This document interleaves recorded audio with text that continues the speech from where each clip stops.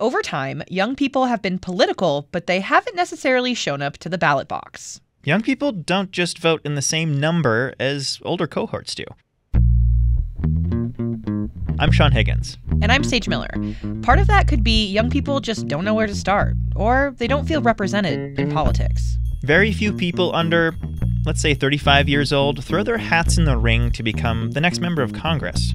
And as we heard last episode, the way politicians are talking right now just isn't landing. And that's a big deal because one in five Americans are Gen Z. They are a looming force in politics. There are more Gen Zers than baby boomers, y'all. There's also more millennials than Gen Xers. People under 35 literally have the power to change the direction of politics, if enough of them hit the polls. And that's what the Utah Republican Party is worried about. They need to mobilize younger voters to join the party. On this episode of State Street, we dive into why the Utah Republican Party is struggling with that core group. For decades, it's been a given that Utahns would grow up to be loyal Republicans. That's just not the case anymore.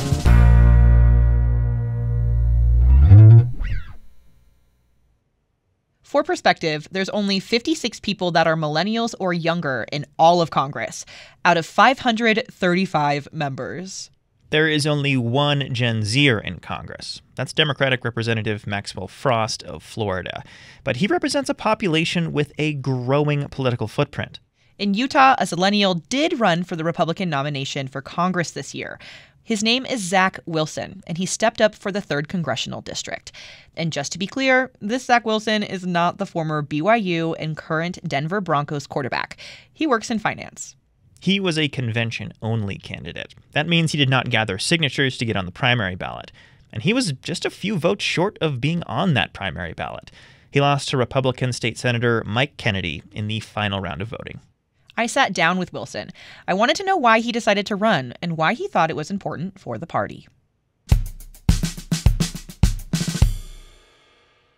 It was really getting involved with the Young Republicans and meeting everyone, going back to D.C. a few times, meeting folks. And then when Senator Romney announced he was stepping down, we were actually at an event at Representative John Curtis's house.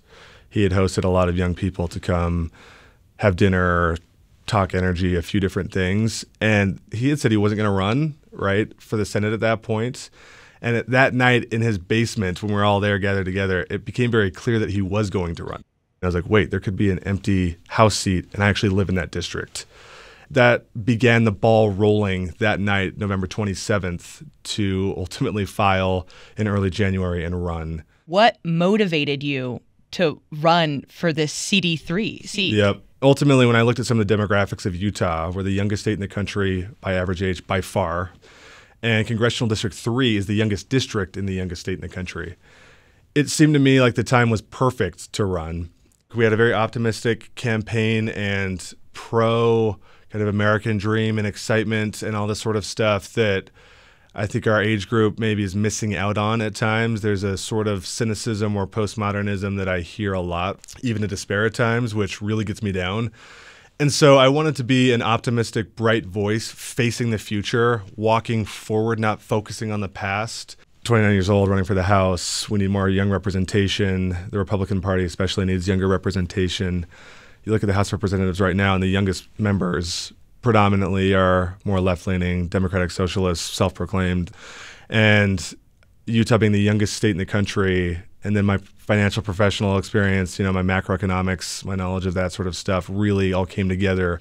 Were there any issues or specific issues that motivated you to want to throw your hat in the ring? Mm-hmm. Yeah, and I'll couch everything I've said so far. It's like, oh, I ran because I'm young. Utah's young. That's not really what it was. I told every every delegate that I could tell. I said, don't vote for me because I'm young. Vote for me because the ideas are good. And if I, it, the fact that I am young is just very positive for the party. Yeah. And so, my number one issue was debt and deficit. And I've been following that for a long time. This is the number one concern facing America in the next 10 to 20 years. That was a big reason why I ran. So I talked, uh, laid out plans for entitlement spending, a lot of different aspects of spending. And then just a simple return to limited government, separation of powers, federalism. That was stuff really that resonated. So while you didn't make it onto the primary ballot at Yep. convention, how did you feel walking away from it? Yeah, there was a moment leading up to the final round, or the second to last round of voting, when it was Mike Kennedy in first, and then me, and then J.R. Bird. And I'm sitting backstage, and there's this moment of like waking up. I was like, where am I right now? How, how did this happen? And no one expected us, I think, to do that. Well, people that knew our message, like this guy actually could make a run at it. And there were some people postulating that I would have a better than expected performance at convention.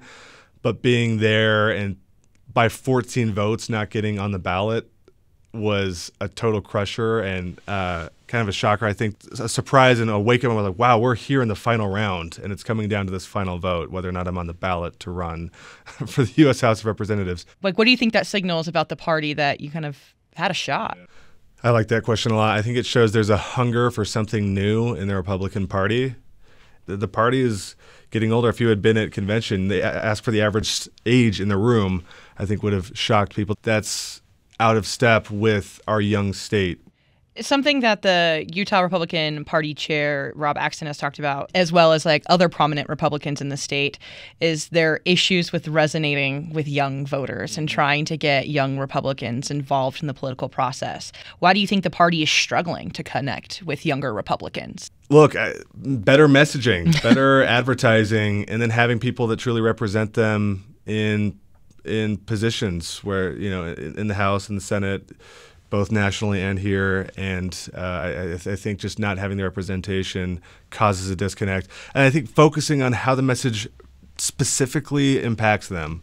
Talk about what debt and inflation mean to you as a young person. It's tough because you're facing, if you're the Republican Party, you're facing headwinds, I'd say, from whether it's social media or societal trends. But I think if you can focus on some of the core stuff, how conservative ideals and limited government really can help you in your spot when it comes to buying a house, inflation, stuff that we actually feel pretty heavily. There are ideas there that I think can really deeply resonate, but I think the messaging has to be better or else you're going to lose out on a huge cohort here. Do you think there are things that the Republican Party should veer away from when they're trying to mobilize young voters that may be a turnoff to them? I think there are two responses here. There is a group that is going to be motivated by some of those culture wars, red meat issues. I think that will actually resonate with some young people. But from the delegates that I spoke to that were, let's say, 30 and under, there was a deep understanding of politics beyond the social stuff and how governance at the national level and at the state level actually affects them and their situation. The Republican Party could do a, a good job of addressing energy, climate, some of these things through Republicans' uh, lens. And I actually think that taking more of a libertarian view on some of the social stuff is a key to success with young people. I actually think that's what they prefer. If we cannot better resonate with millennials, Gen Z, and then Gen Alpha, which is 14 year olds currently who will be able to vote in the 2028 election. 10 years from now, we're Colorado, in my opinion. When you when you say Colorado, do you think it might turn more purple or do you think it's going blue? Yeah, You look at Colorado, which used to be a red state, and then as Denver grew, the state swung more purple and now more solidly blue. And so I look at that here in Utah, and a lot of the similar, I see very similar demographic. Utah solidly red state, but as Salt Lake grows, tech jobs grow, the outdoor kind of wonderland that we have here in state and more outdoorsy minded people come here, I think you, you could easily become more progressive. But if we can't better resonate as a Republican Party with, with younger voters, optimistically on their turf, maybe talking more about the, the grand scheme, maybe maybe veering away with some of them at least on social issues and talking more about governance. And I think that's how you win young people over to the party and keep the state conservative and limited government and all that sort of stuff. Hmm. Are you optimistic the Utah GOP can accomplish that? I think the current leadership has an openness and an understanding of demographics in a way that I think is spot on. I think the understanding is there, and now we just need to execute it together. That was Zach Wilson, a former Republican candidate for Utah's 3rd Congressional District.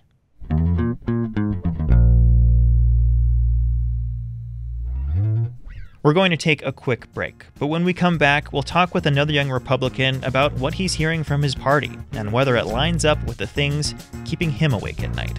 You're listening to State Street.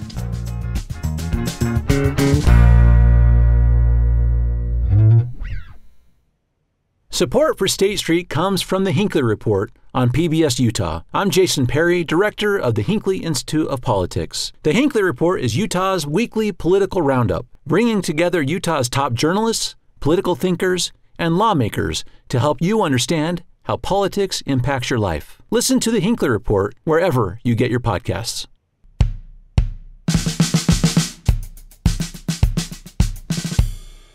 Welcome back to State Street. I'm Sean Higgins. And I'm Sage Miller. So, a GOP Zillennial candidate lost.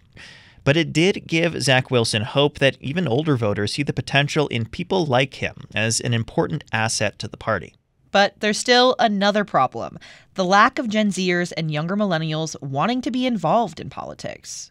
Some of that hesitation is because they don't know where to start. It can be a daunting process. Another issue is that the party platform just doesn't resonate with them. To further understand the mind of a young Republican voter, I sat down with Spencer Roberts. He's 30, a dad, and a PhD engineering student at the University of Utah. I first met Spencer in February for a GOP voter panel I hosted with PBS Utah ahead of Super Tuesday. We'll add a link to that in the show notes if you want to watch it. This time, he told me he feels like it's his duty to be well informed.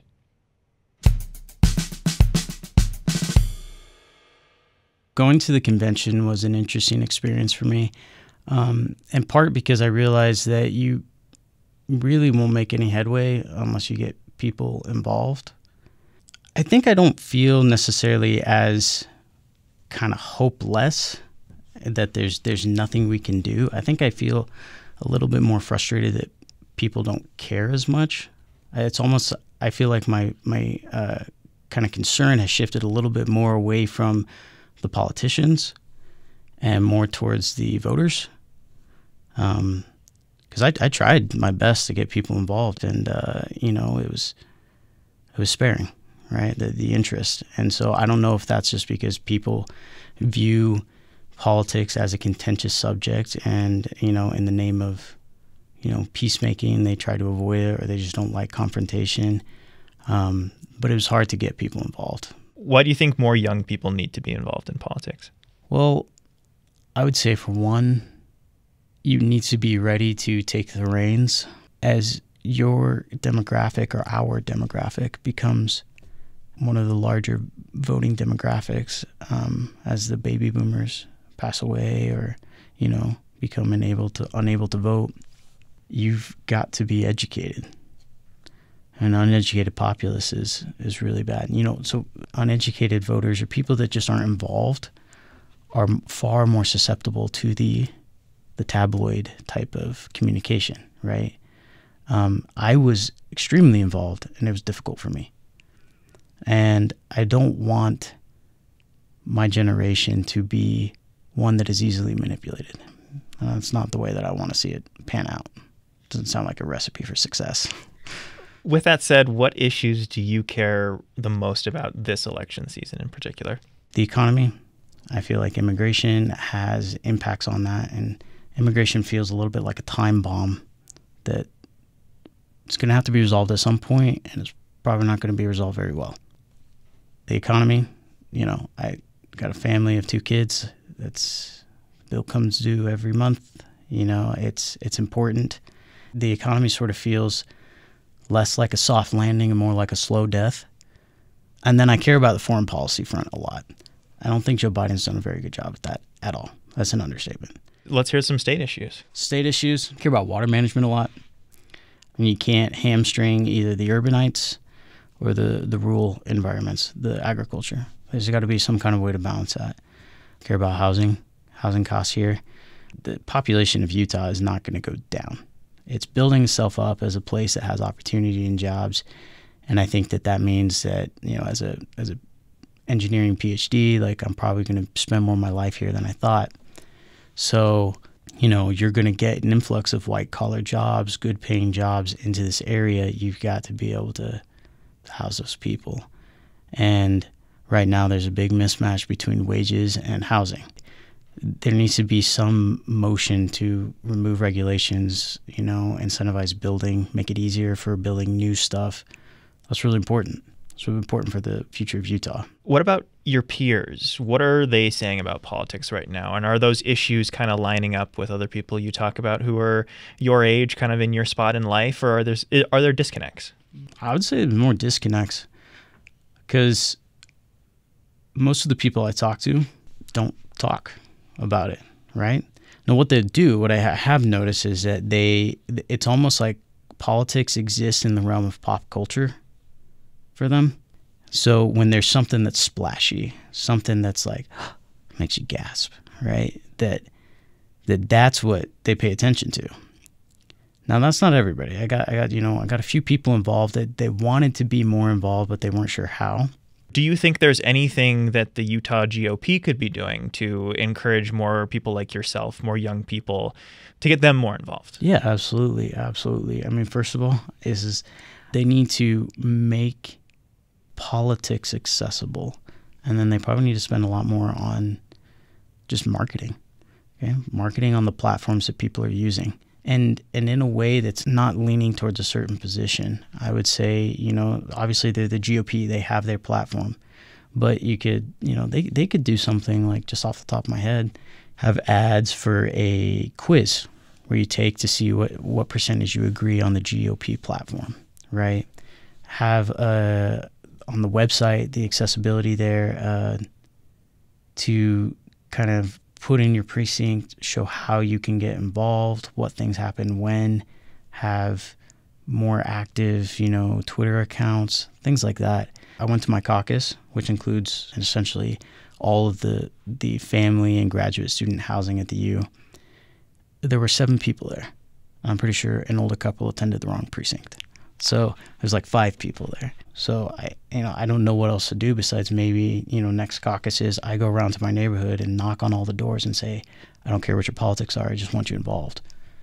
I think a lot of people, particularly young people, look at politics and they just go, "I don't know enough to to participate and and mm-hmm. be a, a, a positive voice to add to the conversation." What do you say to someone who has got a lot going on in their life? Yeah. And is trying to make time, but they're like, you know what?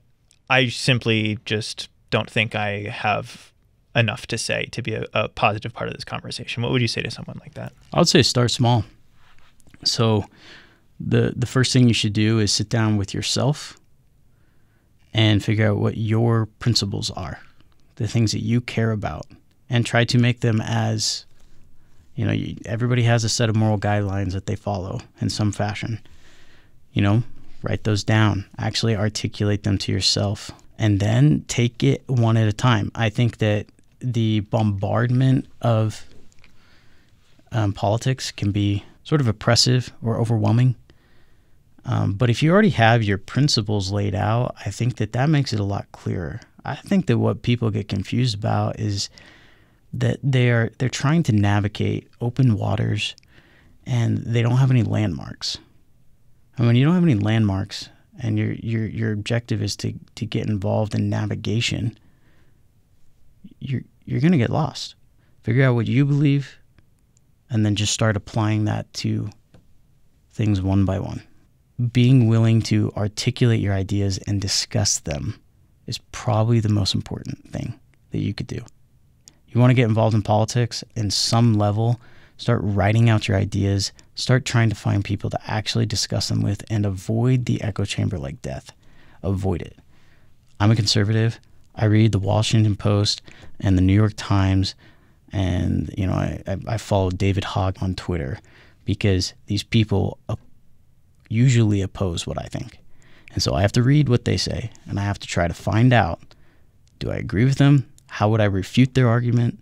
You have to take some kind of systematic approach. Avoid the echo chamber, but you you can't jump into that pool if you don't know where you stand.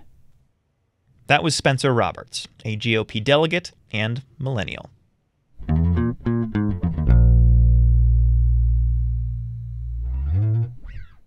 Younger generations have the potential to make or break elections.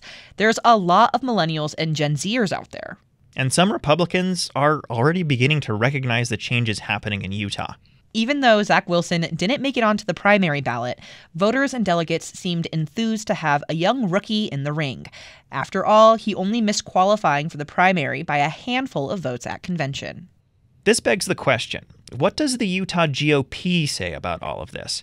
I spoke with State Party Chair Rob Axson about what we heard from those younger conservatives. He's also a millennial, and it turns out he also thinks the heat of the national political conversation creeping into Utah is not good for the long term. He blames things like the culture and echo chambers of social media and mainstream media for a lot of the disconnect between young people and politics. But when it comes to the GOP backing away from culture war issues, he says it's a little more complicated than that. I don't think we should cower away from any issue. Every issue that impacts public policy impacts our lives, and vice versa. Every issue that affects all of our lives affects public policy. And so if we just made it a, a, matter of course that as citizens we don't engage on issues or w- because they're confrontational or controversial, it's doing a disservice to the best outcomes of the best policy. And so I think it's important for us not to put things in boxes where we lock them away and don't look at them, because then there's just this festering disconnection uh, and animosity and anger. If rage is the motivation that you're speaking from, and the the emotion from which you are fighting for your worldview or your perspective, I would encourage you to take a pause and maybe approach it a different way. I don't think that rage is ever productive in the long term. You may have immediate short term benefits, but long term, you're going to miss out on the best uh, policy outcomes. You're certainly going to miss out on uh, a far um, greater opportunities of collaboration and good policy. Uh, so yeah, rage is not something that I I believe in. Uh, but it doesn't mean that we can't be um, tenacious and focused on the principles that we believe. I don't think we should ever water down what our beliefs are, but I think you can do it without rage. Do you think there is a disconnect in, in priorities between older Republicans and younger Republicans? Um, I don't think there's necessarily a disconnect. There is certainly a difference in the experiences that people have had uh, and and the realization of of what opportunities exist. But I think that's the function where sometimes there appears to be a disconnect between somebody who is older and involved in the process and has been for many years and young people who right now are still in that season that they think oh i can do that later. I can be engaged later. So it's just consistently we have to make that invitation. Be a part of the process now be engaged now, run to be a delegate now. I was thrilled to see all of the the many young people that we had. Sure, there were more people that were later in years than brand new fresh voters, but I met a couple of dozen folks who literally they are 18 this year. So it was fantastic meeting some of these young people and hearing their ideas and also what their concerns are. With that said, does the Utah GOP have a plan or, or a plan in place to engage more young voters? Not just this election season, but elections going forward? Yep, absolutely. It's a big priority for us is focusing on engaging with young people, make sure that their voice is being heard, that they're invited to that seat at the table. Oftentimes, people don't know what they don't know and they don't know the opportunities that exist before them. So I think a, a, key thing as we mature in life, and sometimes that maturity doesn't mean you have any better ideas, you just maybe have better uh, experiences where you know how to have done something. I think it's important to be mentors. So, for example, when there's events, when there's policies that are being discussed, when there's opportunities for candidacy, I believe it is incumbent on all of us and especially here in the Republican Party, to make sure that we're extending invitations to young people, make sure that they realize that they too can be a candidate, that they can be involved in the caucus process by running and being a delegate.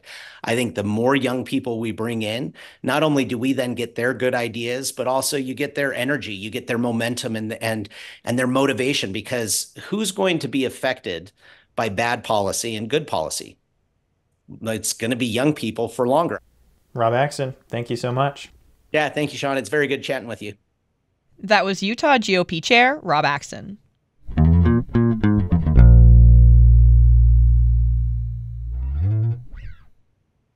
So, will young conservative Utahns have their voices heard on June 25th? We'll be back next week with a recap and analysis of the results. You know the drill. If you want to read more about the candidates in the June 25th primary, head to kuer.org. There are great voter guides on all the big races. We'll also link those in the show notes. That does it for this episode of State Street. I'm Sage Miller. And I'm Sean Higgins. The show is not possible without our team. On the digital side, that's Jim Hill, Raquel Davis, and Eleanor Gomberg. Mm-hmm. Editing and production wizardry is courtesy of David Childs and KUER news director Elaine Clark. And Caroline Ballard is our executive producer. Catch you next week.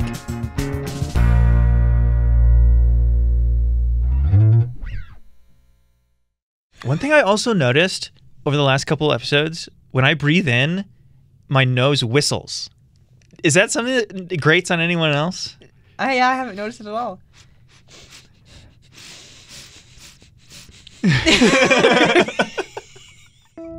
From KUER.